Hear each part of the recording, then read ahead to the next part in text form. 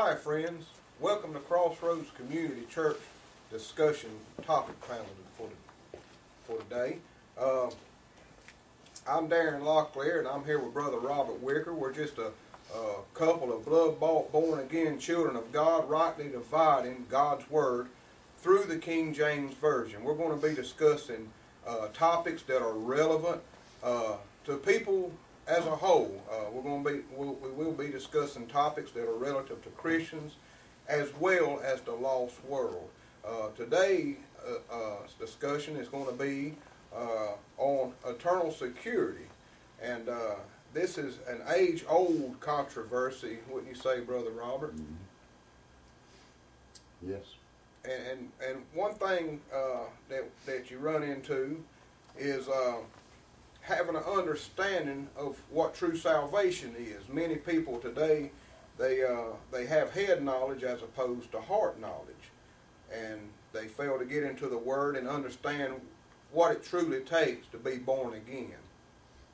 Yeah, that's true, Darrin. And before we get into that, there's one thing I'd like to touch on, and before we get into the eternal salvation, and that's the misconception people have about when and how they can get saved. And a lot of people think that they they make up their mind when they're going to get saved, that they'll get up some Sunday morning and go to church, and a lot of them base it on. Uh, one of the most familiar verses in the Bible, which is John 3.16, where it says that uh, for God so loved the world that he gave his only begotten Son, that whosoever believeth in him should not perish, but have everlasting life. And that word should is the, is the key word there. It don't necessarily mean that uh, you won't perish. It means you should not. But there's other verses in the Bible, and Jesus told us in uh, uh, John 14, 6, Jesus said, I am the way, the truth, and the life. No man can come unto the Father but by me. Amen. And he also said in John 6, 44 that no man can come unto me except the Father which sent me draw me. And a lot of people think that, you know, they can get saved when they want to. And first of all, in John 3, 16, God took the first step towards us by giving us his Son for our salvation. Amen. To give his life for our salvation. And then after Jesus told us you know, how we had to go about it, that God had to deal with our heart, that He was the only way, and then the only way we could come to Him was uh, if God drew us. And that's when it's left up to us then. Amen. And not until then. But God is the one that determines when He's going to draw you. And you can go to the church all you want to and uh, and go to the altar as many times as you want to. And if God's not drawing you, uh, you're not going to get saved because I know I've been there and done that and you can have a religious experience, and that's what a lot of people have, and a lot of you know a lot of pastors or preachers or whatever that uh, try to lead people to the Lord. They not necessarily purposely, but because of not knowing God's word, not rightly dividing the word of God, they don't study the word, and, and, a lot of people walk out like I did when I was a young man and thought I was saved and on my way to heaven, right. and uh, I was just as lost as I could be for a lot of years there has to be a drawing. It's it's uh, it's God's decision when He draws, Amen. And at that time, it's our decision to accept Him or reject Him. Right. And uh, right now, I'd like to invite our special guest for today, Evangelist and Pastor David Bibey, to sit down and join us and maybe give us his insight and uh,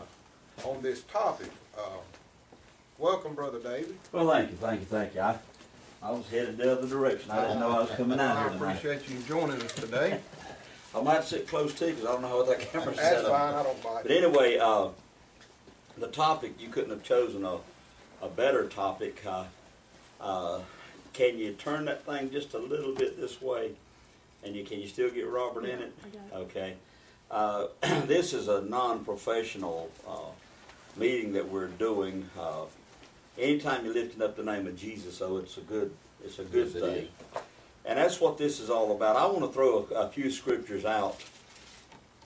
And uh, as we're talking about eternal security, eh, they've already covered. You have to be drawn by the Holy Spirit, and uh, when God draws you, you know you're being drawn. Mm-hmm. And all these people that are talking about losing their salvation, uh, they've never truly been born again because once you've truly been born again, you have a hunger for the Word of God. You have a desire to study the Word of God. And you know that there's been a change in your life. Amen. And so when they're talking about heart knowledge versus mind knowledge, I had mind knowledge far before I got saved. I, I'd been taught from the time I was a little child that Jesus was the Son of God. I taught that he was uh, born by a Virgin Mary, his, his mother was a virgin, and that he lived a perfect life, died on the cross, and God raised him from the dead. I was taught all of that, uh, and I believed every word of it because I knew my mom and daddy wouldn't lie to me about Jesus and God, and I knew the preacher wouldn't lie when I'd hear it. So I believed all of that, and I thought because I believed that everything was okay. But when the Holy Spirit came by and knocked on my heart's door, I learned very quickly that I was on my way to hell, that I didn't know Jesus as my Lord and Savior. I knew His name, but I didn't have a relationship with Him. But once He uh, saved my soul, He knocked on my heart's door and I gave in, then a change came in my life, and, and, and, a, and a great change. And I stayed in church and I was listening to the preacher. Brother Darrin, I was, I was listening to the preacher every time he was talking, I was listening. I didn't read along in the Bible, and he didn't ask us to read along in the Bible. He just got up there and he preached, and I would listen, and I, he'd preach and I'd listen. Well, I started going to Haiti and uh, you know different parts of the country, and I'd go over there and I'd preach because I knew I had good news. I, I, knew I'd been saved, and I needed to be telling them how to be saved. And uh, ignorantly, I was telling them, if you do this, you're going to hell. If you do that, you're going to hell. You know, I was preaching that you could lose your salvation because that's what I was being taught. Uh, but then when God, I came back home after a trip, and the Lord visited me in my bedroom that morning, and I didn't have my mind on the Lord. It was one of those mornings I got up, took a shower, and I was getting dressed. I had to get down and go to work. And I was putting my pants on over side of the bed, and all of a sudden, uh, a, a, voice spoke to me uh, with great authority, and he says, "Why do you preach that I died in vain?" And I fell back on the bed. I just sit back on the bed, pants half on, half off. Debbie was still asleep. And uh, I said, What, Lord? And he began talking to me. Jesus did. And he told me about the blood and told me how powerful it was and the price that he paid on Calvary. That it was a gift from him to me. And once it was applied, nothing could remove it. And he started telling me, and he started quoting scriptures and telling me the word that and he said now you go and you study my word. And uh, because you're preaching that i died in vain and my blood no man can take you away from me. I'm all powerful. I have all the power. And so uh, after a few minutes and he he left and after i got my composure and my breath and everything i went ahead and finished dr- dressing and i was shaking like a leaf and I started out the door, and he spoke to me and said, Where are you going? I said, I'm going to work, Lord. Mm-hmm. He said, No, I just told you to go study my word. I've got a work for you to do. And for three years, he kept me in the Bible, studying it, breaking it down chapter by chapter, verse by verse. And he showed me some key scriptures in there that fit in harmony and in unity with everything else in the Bible.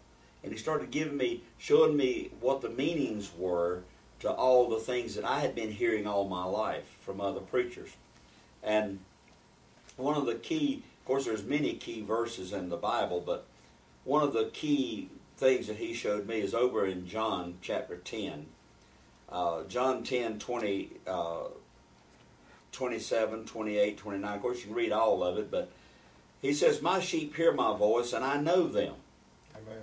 And they follow me, and I give unto them eternal life, and they shall never perish neither shall any man pluck them out of my hand. My Father, which gave them me, proving that John 6:44, what you said earlier, brother Robert, proving that that has to come into effect there. That no man can come unto me except the Father which has sent me draw him. So God the Father has to draw them. The Holy Spirit draws them. Then they come to Jesus. And he says, uh, My Father which gave them me is greater than all. And no man is able to pluck them out of my Father's hand. I and my Father are one. Amen. So when we learn the Word of God, we learn never perish. Now, if I could get saved on Wednesday and go out and, and do something on Thursday to lose my salvation, then I could perish. And that would make Christ out a liar. I mean, because let me tell you something, when you go to hell, you're perishing. I mean, I don't care what anybody says. and, and, so that would make him out a liar there because he says, uh, uh, they, them, uh, uh, and I given them eternal life, and they shall never perish, never. And I looked up.